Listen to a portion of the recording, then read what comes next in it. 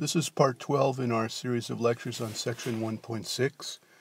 And in this lecture, we introduce a new working definition, namely that a sequence diverges to infinity. So let's start with an infinite sequence of real numbers. Intuitively, we would like to say that the sequence diverges to infinity if when we look far enough out in the sequence, the terms not only become arbitrarily large, but they remain arbitrarily large.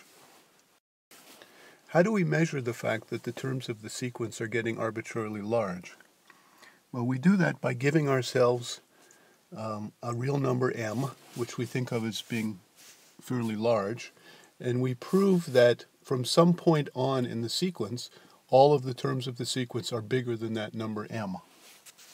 And if we're able to do that, no matter which capital M we're given, then we would like to be able to say that the sequence diverges to infinity. And so that's expressed in a precise way by means of this working definition.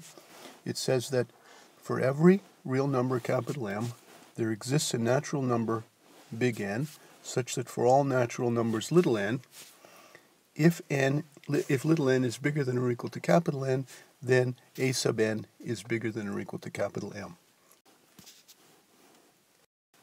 So now let's illustrate this by an example. Uh, take the sequence whose nth term is 5n squared minus 1000. Uh, intuitively, I think you'll agree that this is a sequence which seems to diverge to infinity, but I want you to write down in symbols uh, the precise meaning of that. So put your video on hold and uh, write it out in symbols and be very specific with this particular sequence. So I just simply wrote down the previous working definition um, with this particular sequence. Um, so it's for every real number capital M, there exists a natural number capital N,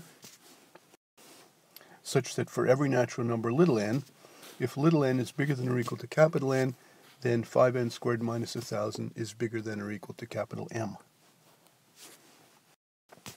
And so finally, I'd like you to write a proof uh, that the sequence diverges to infinity, and that means you have to write a formal proof of this statement here. So what we have to do is the following. Given any real number capital M, we have to explain how to choose this capital N, this natural number, so that for all terms in the sequence after the capital Nth term, this inequality occurs. So let's calculate that quantity, 5n squared minus 1000, and see what it takes to make that big. This is certainly going to be bigger than 5n squared minus 1000. And um, we'd like to simplify that a little bit so that it makes it easy to calculate capital N. So question is, is that bigger than um, just plain n squared? Okay, so what does it take to make that happen? Is that bigger than n squared? That's the question. And so if you just bring this n squared across and the 1,000 over, it just says that 4n squared is bigger than 1,000 which says that n squared is bigger than 250, which says that n is bigger than the square root of 250. So that's something that we want to arrange to happen. So this we want.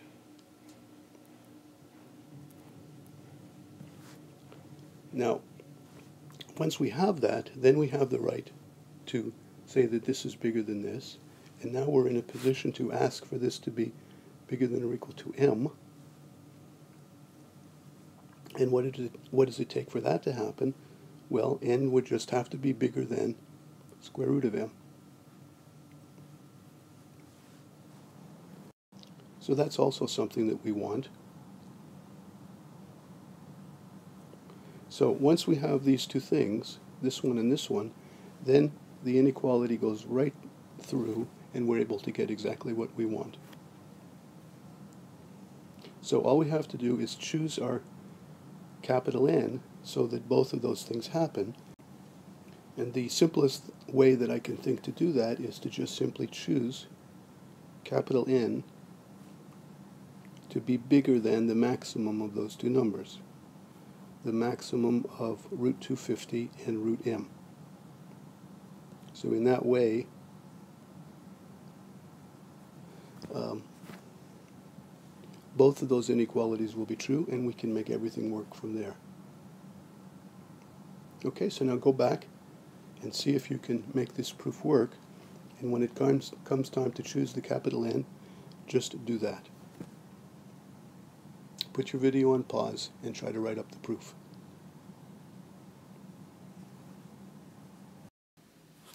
Okay, here's the proof. Follow along here as I read what I've written. First sentence should be, let m be a real number. And now choose capital N, choose a natural number, capital N, such that n is bigger than the maximum of root 250 and root m. That's the calculation that we did on the previous page. Then we see here that we should next write let little n be a natural number and then we're giving a direct proof, so we should assume our hypothesis. Suppose that n is bigger than or equal to capital N. Now we have to prove that this happens, and in order to smooth the way in writing the proof, I'm going to first make two observations. Since n is bigger than root 250, it follows that this happens, and since n is bigger than root m, it follows that this happens. Thus we have, and now I'm just simply going to write the proof of this, I start on the left side. 5n squared minus 1,000 is bigger than this because uh, little n is bigger than capital N. And this is bigger than this, as I observed up here. And this is bigger than this, as I observed up here. And that completes the proof.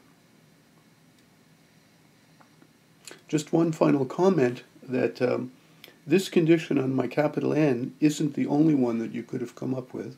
There are other ways to do it. Um, this is just one possible way.